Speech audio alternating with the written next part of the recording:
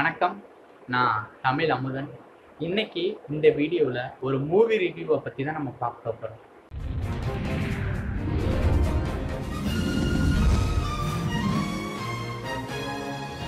Movie review Amazon பிரைமில் release ஆகிருக்கிற புத்தம் புது காலை அப்படிங்கிற ஒரு திரைப்படத்தோட மூவி ரிவ்யூவை தான் நம்ம பார்க்க போகிறோம் ஒரு திரைப்படத்தில் ஐந்து கதைகள் வெவ்வேறு கதைக்களத்தில் இயங்குது. அந்த ஐந்து திரைப்படங்களையுமே ஐந்து இயக்குனர்கள் படமாக்கியிருக்காங்க.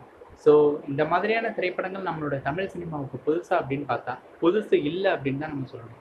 எண்பதுகளில் இயக்குனர் சிகரம் திரு கே. பாலச்சந்தர் அவர்கள் இயக்கிய ஒரு வீடு இருவாசல் அப்படிங்கிற திரைப்படம் ஃபர்ஸ்ட் ஹாஃபில் ஒரு கதையும் செகண்ட் ஹாஃபில் வேற ஒரு கதையும் இருக்கும். ஆனால் அந்த ரெண்டு கதைக்கும் ஒரு ஒற்றுமை இருக்கும்.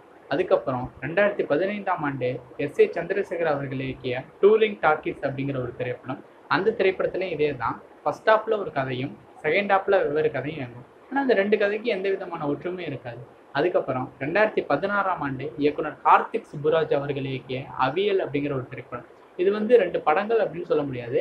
நாலு ஷார்ட் ஃபிலிம் அந்த நாலு ஷார்ட் ஃபிலிமில் ஃபர்ஸ்ட் ஹாஃபில் ரெண்டு ஷார்ட் ஃபிலிமும் செகண்ட் ஹாஃபில் ரெண்டு ஷார்ட் ஃபிலிமும் சேர்த்து ஒரு படமாக கொடுத்துருப்பாங்க.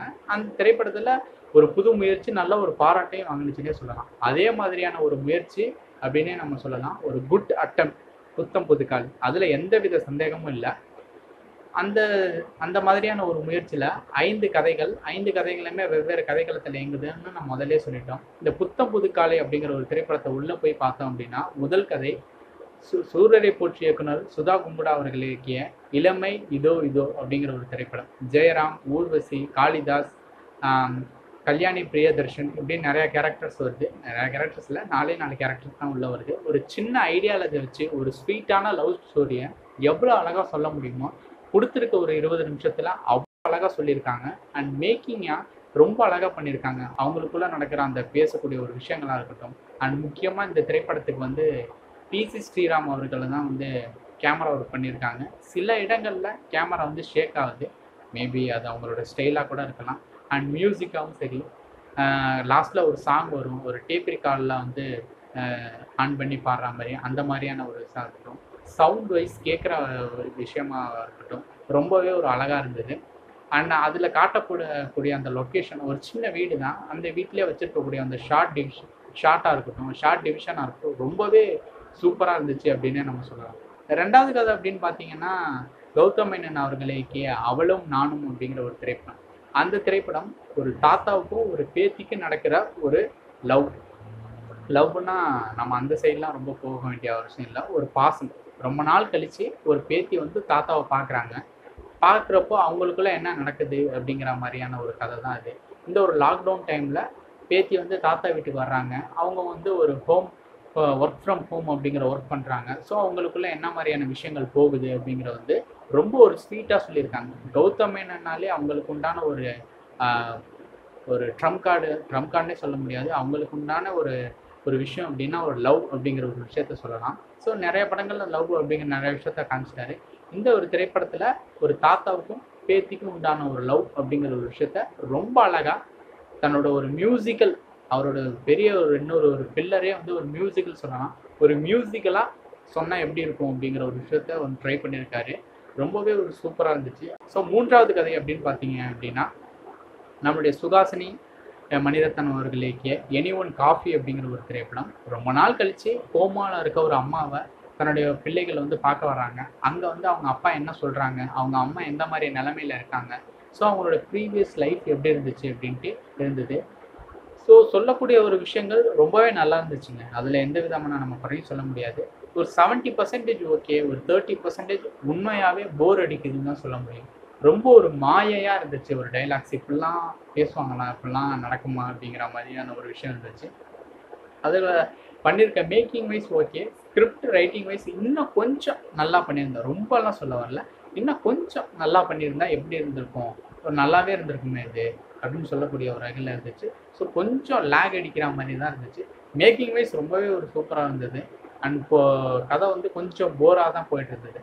ஸோ அடுத்த கதை அப்படின்னு பார்த்தீங்க அப்படின்னா ரீயூனியன் அப்படிங்கிற கதையை ராஜீவ் மேனன் அவர்கள் இயக்கியிருக்காங்க. ராஜீவ் மேனன் அவர்கள் இயக்கினாலே ஒரு அழகு இருக்கும்.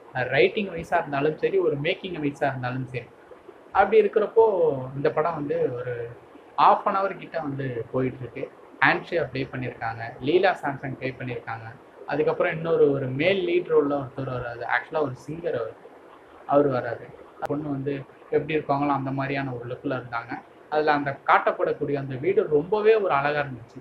மோஸ்ட்லி ராஜீவ் மேனோட விஷுவல்ஸ் என்ன அப்படின்னா ஒரு தரையில் ஒரு விஷுவலை வைக்கிறாருன்னா அந்த தரையில் வந்து ஒரு சின்ன டிராயிங் வச்சுருப்பாங்க. அந்த மாதிரியாக தான் அவரோட விஷுவல்ஸ் இருக்கும். அதில் பா காட்டக்கூடிய ஒரு விஷயம். ஒரு பொண்ணு ஒரு ஃப்ரெண்டோட வீட்டில் ஒரு டென் டு ஃபிஃப்டீன் டேஸ் வந்து ஸ்டே பண்ணுறாங்க அப்படி ஸ்டே பண்ணுறப்ப என்னென்ன விஷயங்கள்லாம் நடக்குது அப்படிங்கிறது தான். ரொம்பவே ரிவீல் பண்ண வேண்டிய ரிவீல் பண்ண ஆசைப்படல. அங்கே நடக்கக்கூடிய ஒரு விஷயங்கள்லாம் ரொம்பவே ஒரு அழகாக இருக்குது இதுக்குள்ளேயும் ஒரு மியூசிக்கல் அப்படிங்கிற ஒரு விஷயம் இருக்குது அதையும் ரொம்ப ஒரு இன்ட்ரெஸ்டிங்காக சொல்லியிருக்காங்க. அண்ட் காட்டப்படக்கூடிய அந்த டைலாக்ஸாக இருக்கட்டும் அங்கே காட்டப்படக்கூடிய அந்த விஷயலாக இருக்கட்டும் அண்ட் ஸ்க்ரீனில் நடக்கக்கூடிய அந்த ஒரு ஸ்க்ரீன் ப்ரெசன்ஸ் அப்படின்னு சொல்லக்கூடிய விஷயங்களாக இருக்கட்டும் அண்ட் ரொம்பவே நல்லா இருந்துச்சு. அண்ட் ஃபைனலாக கார்த்திக் சுப்ராஜ் அவர்களுடைய மிராக்கல் அப்படிங்கிற கதை. ஸோ இந்த கதை தான் இந்த ஐந்து கதைகளே ரொம்ப கம்மி டியூரேஷனில் ஓடக்கூடிய ஒரு திரைப்படம் அப்படின்னே நம்ம சொல்லலாம். ரொம்பவே ஒரு சூப்பராக இருந்தது. ஒரு பிளாக் காமெடி அப்படிங்கிற ஒரு விஷயத்த வந்து எடுத்துக்கிட்டு பண்ணியிருந்தாங்க. ஸோ கார்த்திக் சுப்ராஜுக்கு இந்த ஷார்ட் ஃபிலிம் அப்படிங்கிற ஒரு விஷயம் வந்து புதுசு இல்லை. ஏற்கனவே நிறைய பண்ணியிருக்காரு. ஸோ அந்த மாதிரியாக தான் இது இருந்து- இருந்துச்சு. பாபி சிம்மா வந்து ஒரு ரோல் பண்ணியிருக்காரு. பிளாக் காமெடி அப்படிங்கிற ஒரு விஷயத்த இருக்குது ஒரு சின்ன ஒரு ஒன்லைன் தாங்க. அந்த ஒன்லைனை வச்சுக்கிட்டு இவ்வளோ தான் கதை சொல்ல முடியும் அப்படிங்கிற ஒரு விஷயம் இருக்குது அந்த சொல்ல முடியும் இவ்வளோதான் கதை சொல்ல முடியுங்கிற ஒரு விஷயத்த ரொம்பவே அழகாக கார்த்திக் சுப்ராஜ் வந்து சொல்லியிருக்காரு.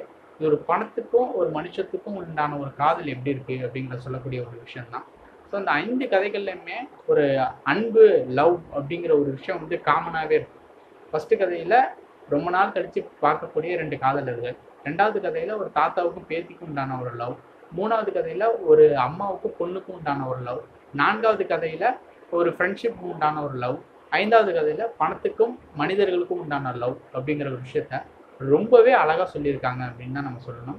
இந்த ஐந்து கதைகளுமே ரொம்பவே எனக்கு பர்சனலாக நான் வந்து முதல் கதை சுதா குங்குரா அவர்களுடைய கதை வந்து எனக்கு ரொம்பவே பிடிச்சிருந்துச்சு அப்படின்னு நான் சொல்லணும். ஏன் அப்படின்னா இந்த லாக்டவுன் டைம் ப டைமில் படம் எடுக்கிறதே பெரிய விஷயம். ஒரு ரெண்டரை கோடி ரூபாயில் ஒரு பட்ஜெட் கொடுத்து ஆளுக்கு ஐம்பது ஐம்பது லட்சம் அப்படின்னு சொல்லி இந்த ஐந்து கதைகளையுமே சேர்த்து நமக்கு ஒரு கொடுத்துருக்காங்க. அண்ட் ஃபஸ்ட்டு கதை ரொம்ப சர்ப்ரைஸாக இருந்தாலும் மிராக்கள் அந்த மாதிரியான நிறைய மிராக்கள் அதுக்கப்புறம் அவளும் நானும் இந்த மாதிரியான ஒரு கதைகள் வந்து ரொம்பவே சூப்பராக இருந்தது. எனி ஒன் காஃபி அப்படிங்கிற ஒரு கதை தான் கொஞ்சம் போர் அடிக்கிற மாதிரி இருந்தது. மற்றபடி அதில் குறை சொல்கிறது அளவு இல்லை. ஆனால் அந்த ஐந்து கதைகள்லையுமே மேக்கிங் அப்படிங்கிற ஒரு விஷயத்த ரொம்பவே சூப்பராக பண்ணியிருக்காங்க. ஒரு தியேட்டர் எக்ஸ்பீரியன்ஸாக இருந்தால் இன்னமும் நல்லா இருந்திருக்கும் அப்படிங்கிறது என்னுடைய தனிப்பட்ட கருத்து. ஸோ அமேசான் ப்ரைமில் அந்த வீடியோ அவைலபிளில் இருக்குது ஸோ போய் பாருங்கள் மேலும் நம்ம இன்னொரு வீடியோவில் சந்திப்போம்.